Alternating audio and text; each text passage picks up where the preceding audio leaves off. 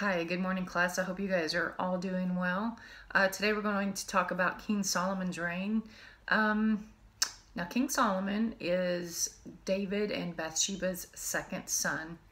Um, we're also going to discuss this coming Thursday, the building of the temple. We're going to briefly just talk over that real quick, but go into more detail um, on Thursday. So let me back you up a little bit. Let's get let's head back to uh, King David for just a second. Before King David, the Israelites as a nation, they were a bit shiftless and seemingly a, you know aimless um, when viewed upon by other kingdoms. We all have um, remember the stories about how they became a nation, how they went into the promised land, what it looked like during the time of the judges, and then they have a king. They start to become more established. Well, King David is highly attributed to making the nation of Israel a strong nation. So he did bring them together as one people. He built a strong army. He conquered Jerusalem, and so now they have a stronghold.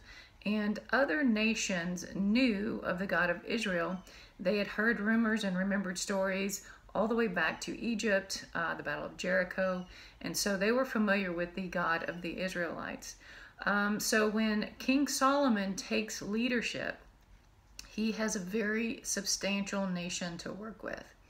So God appeared to Solomon in a dream, and he promised him anything that he asked. Solomon chose understanding and discernment, asking God to help him govern his people well and wisely. God was so pleased with his request that he granted it along with much riches and honor and a long life.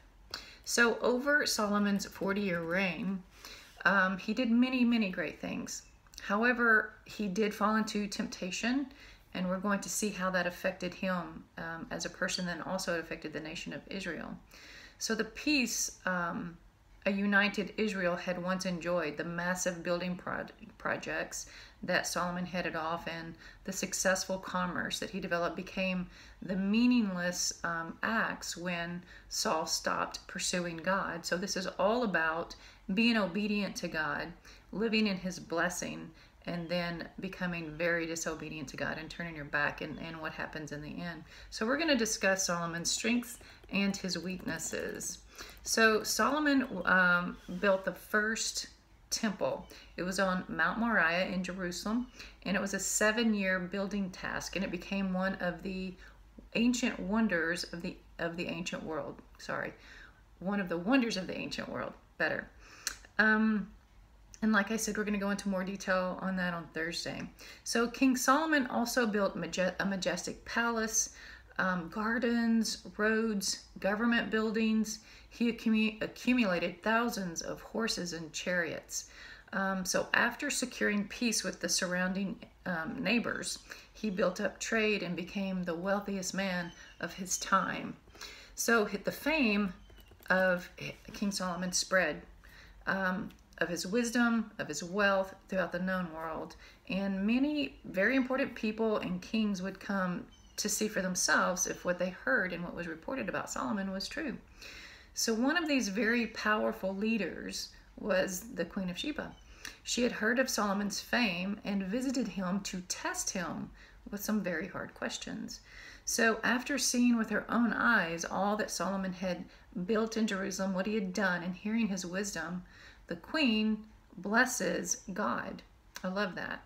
So, here's what she is um, recorded to have said in 1 Kings 10 67. She said, The report was true that I heard in my own land of your words and of your wisdom. But I, did, I, but I did not believe the reports until I came and by my own eyes had seen it. And behold, the half was not told to me. Your wisdom and prosperity surpasses the report that I heard.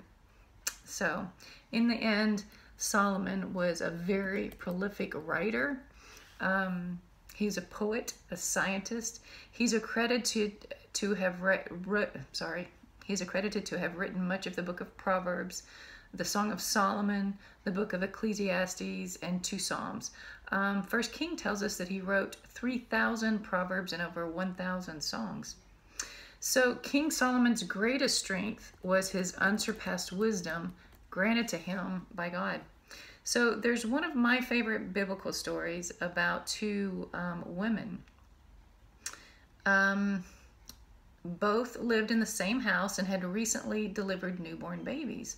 But one of those babies had died, and the mother of the dead baby tried to take the living baby from the other mother. But because there were no other witnesses that were living in the house, the two women were left to dispute about who was the true mother of this living child.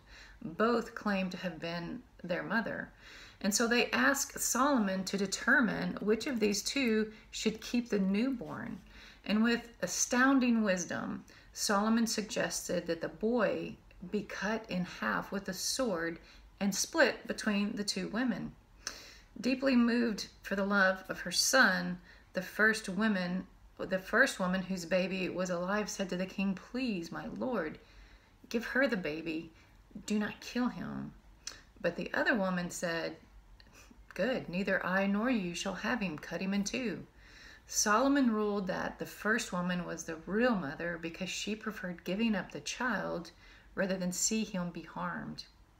So, however, in all of King Solomon's wisdom, he turned to worldly pleasures instead of pursuing God. Not only did he collect all sorts of treasure and surround himself with ornate luxury, he took several wives and concubines most of whom were pagan. Solomon allowed lust to rule his heart instead of being obedient to God. He allowed his foreign wives to worship their native gods, and he even had altars built to them inside of the city walls of Jerusalem. King Solomon's sins speak loudly to us in our current day of materialistic culture and uh, surroundings when we worship our possessions and give um, credit to fame over God, we're always going to be headed for a fall. And so King King Solomon is an exam an excellent example of um, continually pursuing God. Um, so in the end, King Solomon was the wisest man who ever lived, but also one of the most foolish.